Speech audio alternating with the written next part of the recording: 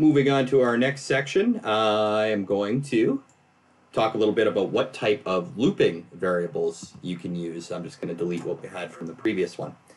Looping uh, is also called iteration or repeating. So if you hear me say iteration or it needs to iterate, that just means it needs to loop. And looping is just doing things over and over again.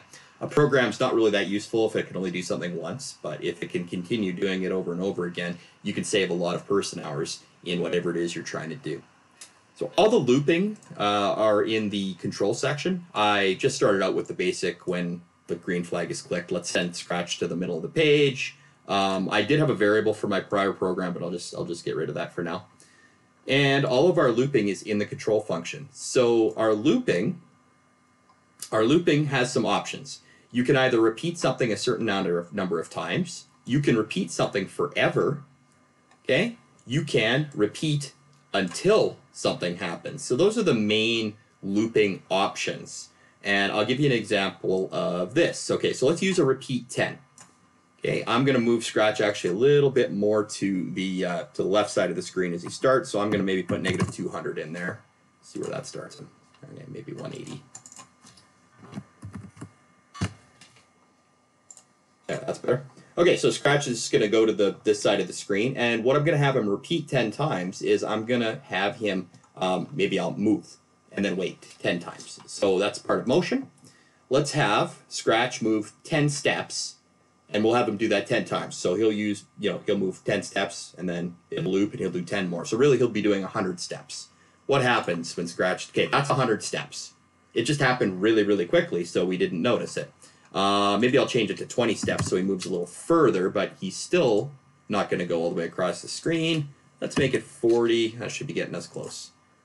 All right, I'm going to make it 35. Okay, so Scratch is moving. 35 steps at a time, and he's doing that 10 times. It's hard to tell that he's doing that, so I'm just going to put in one more block that's called a wait block, and that should be in. Should be right here in events again. See where it says wait one second? I'll have Scratch, I think 0.2 seconds is the least he can wait. Maybe it's 0.1. I'll have Scratch move 35 steps. He kind of does it all at once, and then he's going to wait, so he'll pause on the screen, and then he'll do the next one, and then the next one, and the next one. So hopefully you can see the 10 blocks of moving as he ju- as he moves across the screen. All right, here we go. One, two, three, four, five, six, seven, eight, nine, ten. There you go. So he's moving 35 steps each time, but he's repeating it 10 times to get from here to here. Because if we only run this program once without the loop, this is what it looks like. That's it and it happens so quickly. That's all that happens. Moves 35 steps. Start at zero, move 35 steps. That's it. So it happens instantaneously. Um, that's what the repeat 10 does. Well, we could do something very similar um, with a repeat until. Okay, so we could repeat until, and we already kind of did this one on the last time, repeat until something, right? So there's got to be some operators and conditions. Uh, let's uh, repeat until uh,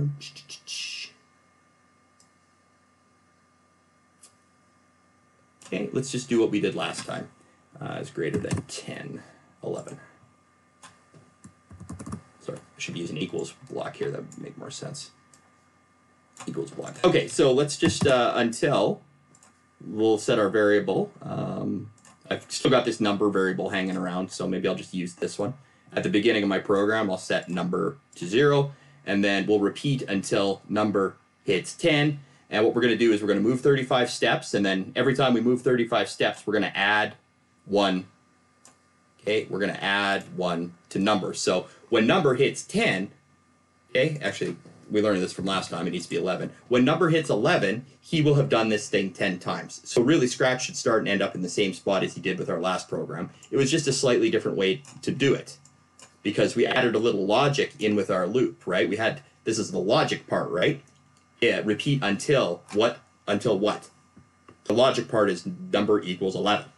Whereas here, it kind of builds that in for you, right? Repeat it 10 times. If you know how many times to repeat it, why not use this? It's super easy.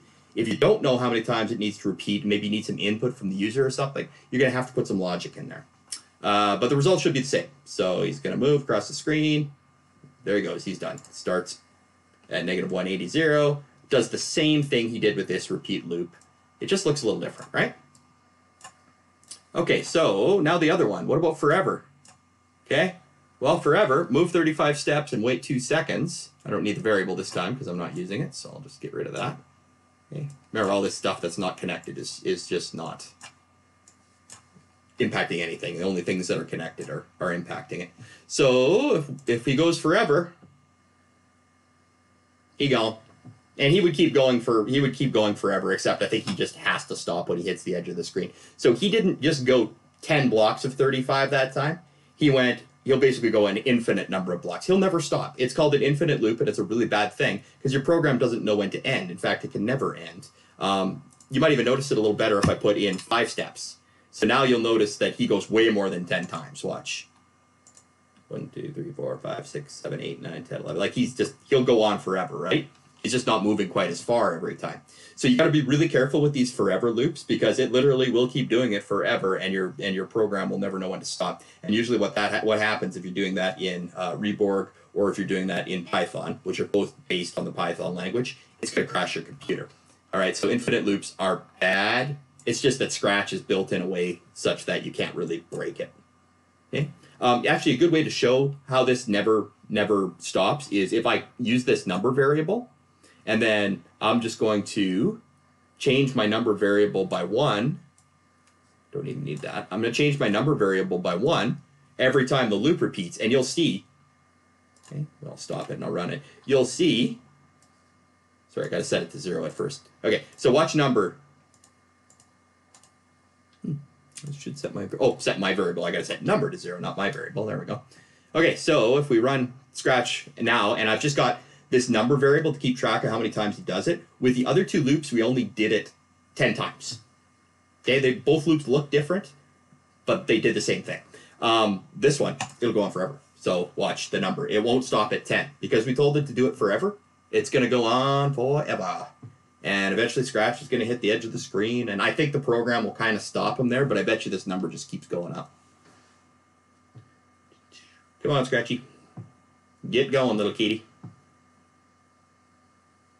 Okay, so you notice it kind of stopped them. I think it does that just so you don't ever really lose scratch. You can kind of grab them and bring them back. But if you notice the number is still going up, and that number will literally go on forever. Sooner or later, your computer's working memory, the RAM, will fill up and it will crash your computer. And it will it'll take forever to do it because it's not a particularly memory intensive program or anything.